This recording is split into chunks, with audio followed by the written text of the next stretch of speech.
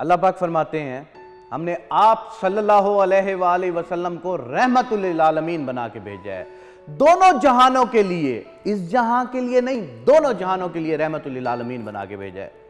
और हम पाकिस्तानी रहमतुल आलमीन के रोज़ा मुबारक पर कैसी हरकतें कर रहे हैं, अगर हम आपको ये दिखाते हैं कि ये हरकतें आज से शुरू नहीं हुई सारी दुनिया जो आज इमरान खान के बयानियों को गलत करना, करार देना शुरू कर रही है, या इमरान खान के ऊपर तोहमत लगा रही है, इमरान खान के ऊपर इल्ज़ाम लगाए जा रहे हैं कि इमरान खान या इमरानी लोंडे ये सब कुछ कर रहे हैं तो उसके हवाले से मैं आपको थोड़ी सी कुछ हकायक बताना चाहता हूँ। मानना ना मानना, आप आवाम का काम है, फैसला आप आवाम का काम है। उससे पहले हुआ क्या था कि सबसे पहले जब इमरान खान साहब रसूल करीम के रोज़े पर गए थे तो उस वक्त क्या हुआ था? जरा ये सुन लीजिए और उसके साथ साथ ये भी देखिएगा कि मरियम बीबी ने उस वक्त क्या ट्वीट किया था और क्या मैसेज दिया था कि चोर को हर जगह पे चोर चोर कहा जाएगा। उस वक्त उनका इमरान खान के बारे में क्या कहना था और आज के बारे में क्या कहना आपको समझ आ गई कि ये स्टार्ट कहाँ से होता है काम? ये स्टार्ट होता है जनाब वाला इमरान खान से। उसके बाद मैं कहता हूँ, उस वक्त भी ये चीज़ गलत थी। आज भी ये गलत हुआ है। रहमतुल्लामीन रसूल पाक के रोज़े के ऊपर आपको अपनी सांसों तक को भी आराम से लेने का हुक्म दिया गया है। और हम लोग क्या कर रहे हैं? शितानी फेल कर रहे हैं। मैं आपसे कहता हूँ कि इमरान खान खुद इस चीज़ में मुलविस नहीं है। इमरान खान का तो कसूर ही नहीं है। इमरान खान तो जहाज़ में जाता है और जहाज़ से जैसे ही उतरता है, मस्जिद नबी तो बहुत दूर है। वो मदीना के अंदर या मक्का के अंदर वो जैसे ही फ़्लाइट से नीचे उतरता है, वो अपनी जूतियाँ तक उतार देता है। उस शख्स की, रसूल करीम से मोहब्बत किसी से ढकी छुपी नहीं है। हाँ आपको एक बात बताता हूँ, गंदे लोग हर पार्टी में शामिल हो सकते हैं। गंदे लोग हर पार्टी का हिस्सा हो सकते हैं। उसको आप किसी एक बंदे के बयानिए के साथ नहीं जोड़ सकते कि ये जी इसके कायद ने इसको कहा इमरान खान ने तो इसके ऊपर खुद कंडेम किया है। दूसरे नंबर पे बात, आपको यह समझ आना चाहिए कि उससे दूसरे दिन हमारे बिलावल भुट्टो साहब हैं, उनके हक में बहुत ज़्यादा नारे लगे हैं। कोई कोई बुरी बात नहीं है, हक में नारे लगाना। लेकिन जिस जगह पे नारे लगे हैं, उस चीज़ को भी गलत करार देना चाहिए। वहाँ पर ऊँची आवाज़ में, चाहे वो किसी के हक में नारे हो, किसी के खिलाफ नारे हो, किसी के एंटी चल रहे हो, किसी के हक में चल रहे हो, दोनों किस्म को कंडेम करना चाहिए।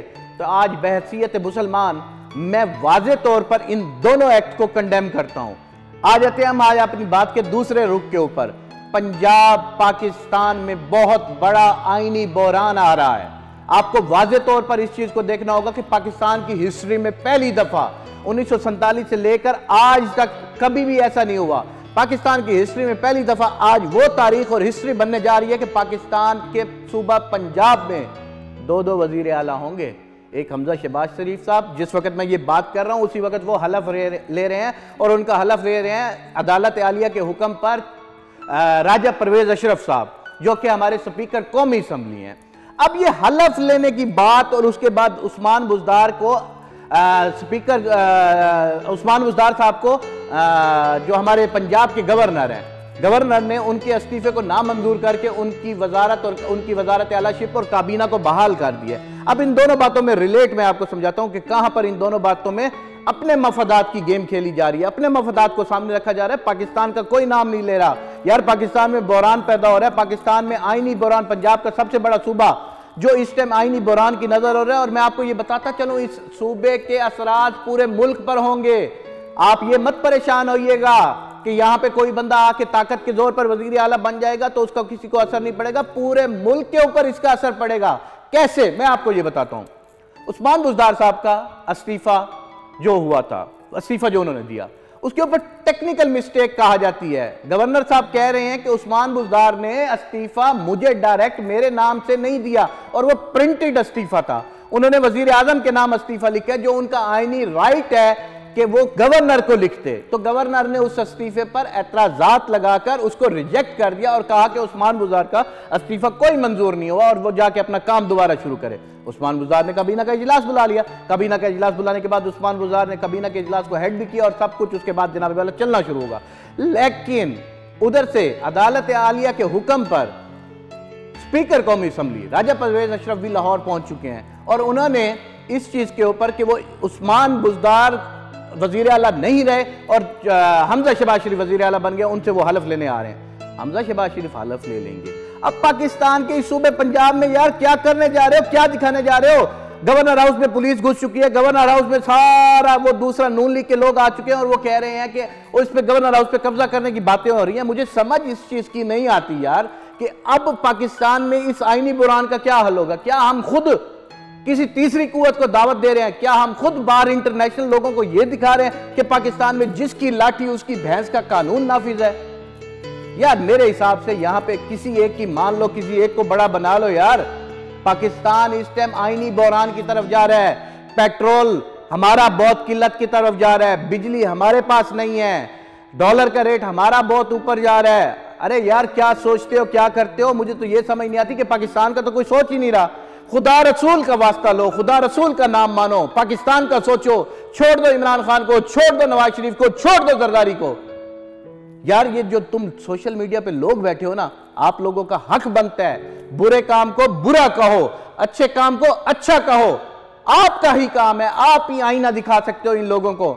मैं आपसे फिर ये गुजारिश कर रहा हूँ, मैं आपको पहले भी अपने वीलॉग्स में कह चुका हूँ कि पाकिस्तान बनाना स्टेट की तरफ़ जा रहा है। पाकिस्तान को ये बहुत पीछे लेके जा रहे हैं, जिसकी लाठी उसकी भैंस का कानून बना रहे हैं। कल से क्या होगा कि जिस जगह जिसके पास पावर होगी, जिस जगह जिसके पास डंडा होगा, जिस जगह जिसके पास लोग होंगे, वो अपनी मन मर्ज़ी का कानून लेके आ जाएगा, वो अपनी मन मर्ज़ी के लोगों को आगे लेके आ जाएगा। क्या करते हो यार? समझ नहीं आती आप लोगों को? हमेशा से आप जनाबे वाला सुबह, शाम, दोपहर, यार, अब मुझे ये बताएँ, एक जब आईनी वज़ीर आला बहाल हो चुका है तो उसको आप कहें हाँ जी, आ जाए।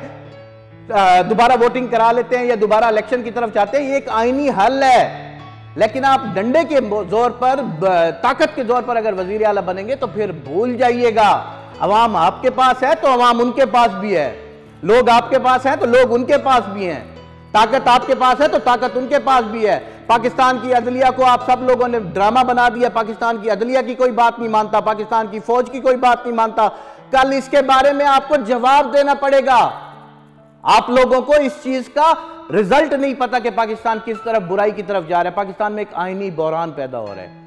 मेरी, आप लोगों से अपील है कि खुदारा बुरे को बुरा कहें, खुदारा अच्छे का साथ दें। और मेरी जनाब अपनी अदलिया मोज़ अदलिया से गुजारिश है कि स्टैंड लें इसके ऊपर। मेरी जनाब अपनी फौज से गुजारिश है कि स्टैंड लें इसके ऊपर और खुदा का नाम लेकर इन चंद सियासियों को, इन दो टके के सियासियों को पीछे फेंक के पाकिस्तान की बात करें।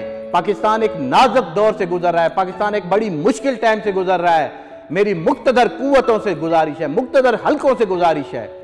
कि खुदा का नाम लें, इस वक्त एक्शन लें और पाकिस्तान को इस बहरान से निकालें और पाकिस्तान का नाम हमेशा के लिए ज़िंदा ज़िंदा रहने के लिए, ज़िंदा रखने के लिए अपना किरदार अदा करें।